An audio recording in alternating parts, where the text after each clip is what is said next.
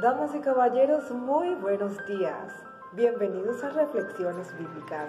Les saluda Rosalina Angulo de Buenaventura, Colombia, y es un placer compartir con ustedes notas de Elena G. White. Como ya lo saben, sí, mi nombre es Rosalind y es quien comparte con ustedes cada mañana o cada tarde o cada noche notas de Elena G. White. Quiero decirles que para mí es un enorme placer saludarles, claro, en esta tarde, en esta noche o en esta mañana, no sé a qué hora vayas a ver este video, pero es un placer saludarles, enviarles abrazos gigantes y querer que la paz de Jehová nuestro Dios les esté acompañando siempre, siempre, siempre.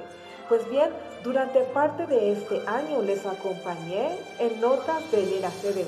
Sin embargo, el nuevo año, quiero decirles que les acompañaré a todas las damas y si los compañeros caballeros nos acompañan, claro que sí, estaremos con el matinal de damas, matinal para mujeres. Será una aventura maravillosa. Así que les invito, por favor, síganos acompañando aquí en Reflexiones Bíblicas.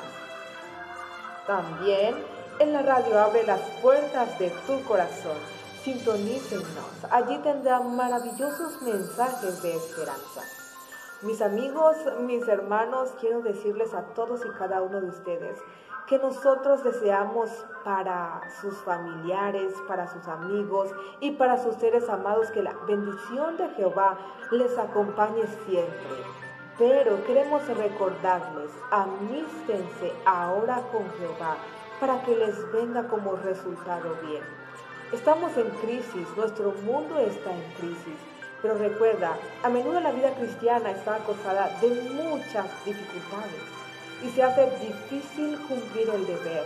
La imaginación concibe la ruina inminente delante y la esclavitud o la muerte detrás. No obstante, la voz de nuestro Dios dice claramente, avanza. Y debemos obedecer este mandato, aunque nuestros ojos no puedan penetrar las tinieblas y aunque sintamos las olas frías a nuestros pies.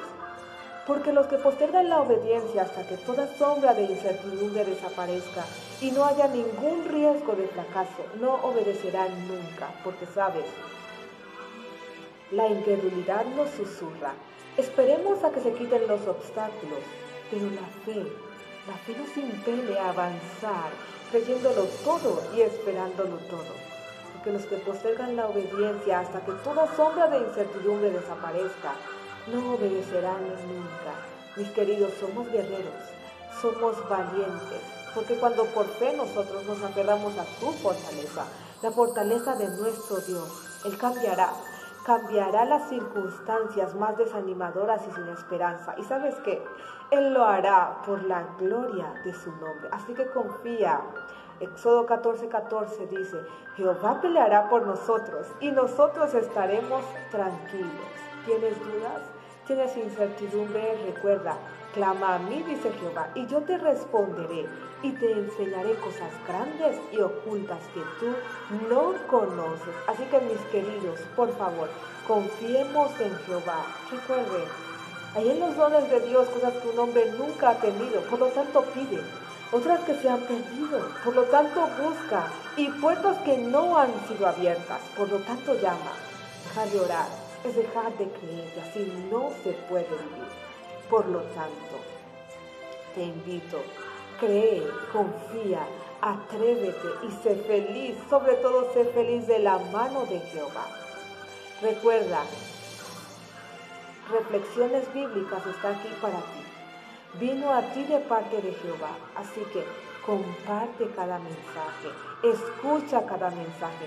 Sigue con nosotros este año, sí, a través de la radio abre las puertas de tu corazón y a través de reflexiones bíblicas, porque Jehová anhela tu salvación, Jehová anhela tu victoria, Jehová anhela salvarte, Jehová anhela bendecirte y no solamente a ti, a tus hijos, a tu familia, a tus seres amados, a tus vecinos, a tus conocidos. Así que comparte esperanza.